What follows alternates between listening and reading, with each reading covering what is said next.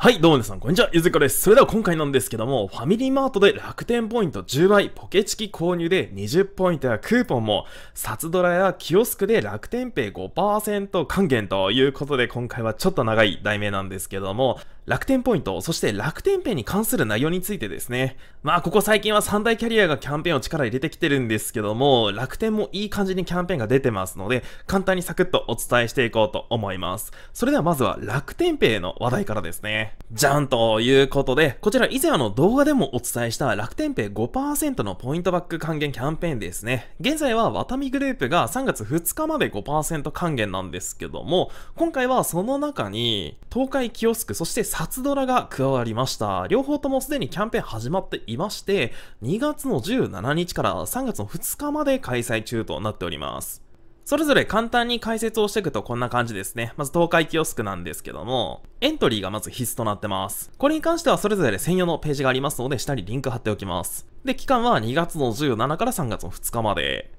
そして使えるお店なんですけども、東海キオスクっていう店舗ということなんですが、僕よくですね、駅のホームとかでもよく見かけるあのキオスク以外にも、他にもギフトキオスクとかグランドキオスク、ベルマートキオスクって、まあ初めて聞いたんですけども、これらも対象のお店となっております。そしてこのキャンペーンでの付与上限というものがないので、お土産とか購入する際は全然ですね、上限気にせずバンバンお買い物ができるということですね。そしてもらえるポイントは楽天ポイントの期間限定ポイントとなっております。次は札ドラですね。こちら同じくエントリーが必須となってまして、期間は2月の17から3月の2日まで。で、対象のお店は札幌ドラッグストアということなんですが、一部対象外の札ドラもありますのでお気をつけください。ちなみに僕が住んでる福岡県にも唯一1店舗だけ札ドラがあります。まあ行ったことあるんですけども、なんか謎な場所にあります。そして同じく付与上限はなくて、もらえるポイントは楽天ポイントの期間限定ポイントとなっております。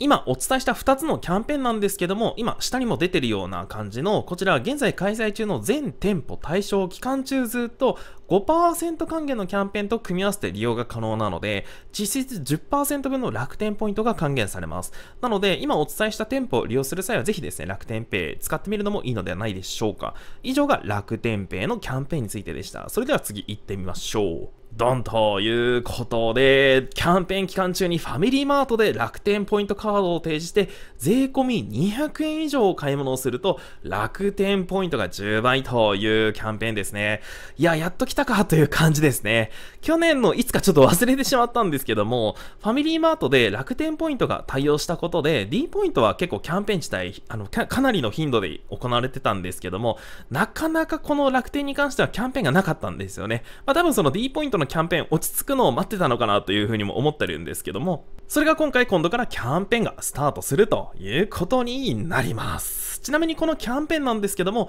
エントリーはすでに開始していまして、キャンペーンの期間は今出てるように2月の25日から3月の16日までの約3週間ほどのキャンペーンとなります。なので来週からスタートしますね。で、このキャンペーンの流れこんな感じです。こちら公式ページにあったもの簡単に記載したものですね。先ほどお伝えしたように必ずキャンペーンに参加するにはエントリー忘れないようにお願いします。今のうちにしておくことをお勧めしますね。そして、この楽天のポイントカードの提示なんですけども、この楽天ポイントカードの、例えば物理カード、あとは楽天のエディの楽天ポイントカードですね。そしてクレジットカードの楽天カード、あとはスマートフォンの楽天ペイとか、楽天のアプリにある楽天のポイントカード、そしてファミペイと連携している楽天のポイントカード、これらのいずれかをお会計の時に出してください。次に税込み200円以上ということなんですけども、ファミリーマートでお買い物する際に基本的には200円で1ポイントしかつかないので、それ以下以下のお買い物をしてもポイントがつかないので、これはお気をつけください。そして、ここの楽天ポイント10倍ということなんですけども、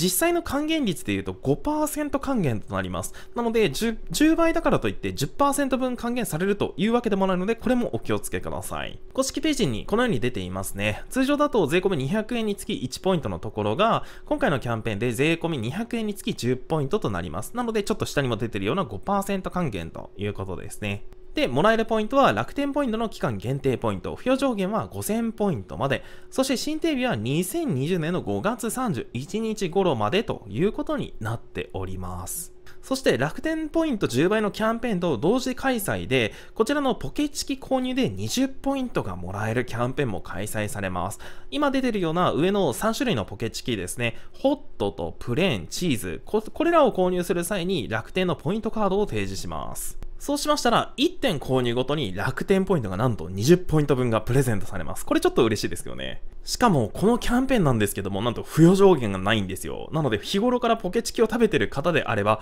とりあえず、とりあえず楽天ポイントカードの提示を忘れず、ポケチキを購入してください。あと細かいところなんですけども、このキャンペーンはなんとエントリー不要です。なので、まあ、とりあえずさっき言ったように楽天のポイントカードを出すと、そしてなんとですね、ポイント、もらえるポイントは楽天の通常ポイントなんですよね。これちょっと意外でしたね。まあ、これまでキャンペーンは基本的に期間限定ポイントが多いんですけども、まさかの楽天の通常ポイントというのはちょっと驚きましたね。そして付与されるのは5月の31日頃ということですね。そしてそれらに関連してこちらの特典の詳細を薄く公式ページに表示されていたんですが、これも出ていました。楽天グループサービスを利用するとお得クーポンポイントゲット大作戦。ファミリーマートで使えるクーポンやポイントがもらえるというキャンペーンもこちらも出ていましたね。で、このキャンペーンなんですけども、今、6つのサービス、今出てるような6つのサービス、上から楽天スーパーポイントスクリーン、楽天カーサービス、楽天エディ、楽天ルーム、楽天車検、楽天エナジー、これらのそれぞれのサービスで条件をクリアすることで、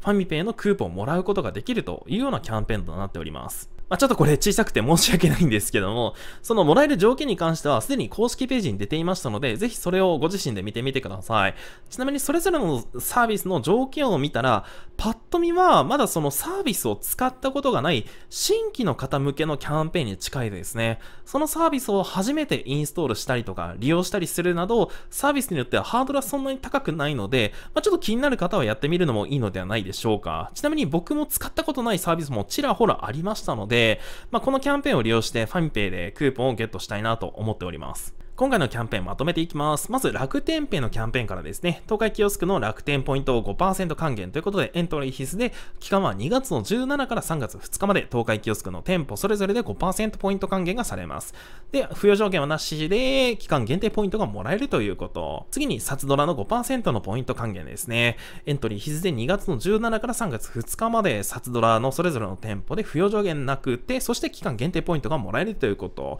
で、今お伝えした楽天ペイのキャンペーンは現在開催中の期間中5%還元と併用は可能となっております。そして、ファミリーマートを楽天ポイント10倍のキャンペーンですね。こちらもエントリー必須で期間が2月の25から3月16日まで200円以上税込みということと、あと10倍なんですけど、これ5%還元ということで間違いないようにお願いします。付与上限は5000ポイントまでで期間限定ポイント。ちなみに先ほどお伝えしてなかったんですけども、この時のキャンペーンの決済方法を楽天ペイで決済すれば、先ほどちょっとお伝えした期間中5%還元と合わせたら、実質10%還元もできるので、それもそれでありですね。もちろん別の決済方法で高還元を狙うのも全然ありだと思います。そして、ポケチキ20ポイントがもらえるキャンペーンですが、エントリー不要となってまして、これも2月の25日、来週からですね、そして3月16日までとなっております。1点につき20ポイントがもらえまして、不要上限はなく、そしてもらえるポイントは楽天の通常ポイントということですので、これも同じく楽天ペイで決済するとお得ですね。まあ、そんなこんなで今回は楽天ペイ、そして楽天ポイントについてのキャンペーンお伝えさせていただきました。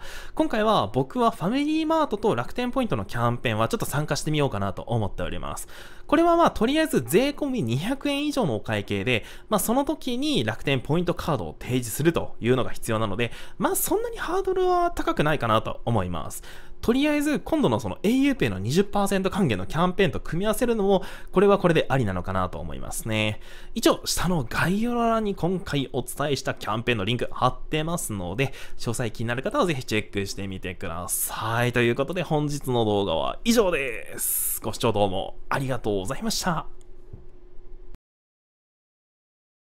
今日ですね、楽天ペイの公式ページ、ちょっといろいろ調べてまして、公式ページ見ていましたら、楽天スイカのことも、あの、ちょっと出てまして、そのページを見たら、 coming soon という感じで、情報が少しだけ出てたんですよね。で、ここで気がついたことがあって、以前あの動画でもお伝えしたんですが、チャージ可能なクレジットカードとして、プレスリリースの時は、楽天のクレジットカード、ビザかマスター、そして JCB までは発表されていたんですが、今見たら楽天のアメックスも大丈夫みたいですね。まあ、ちょっと楽天のアメックス見たこと、あの、持ってる方見たことないんですけども、一応それはそれでチャージは可能ということでした。あと、他は特に追加情報はなさそうでしたね。そして、あとですね、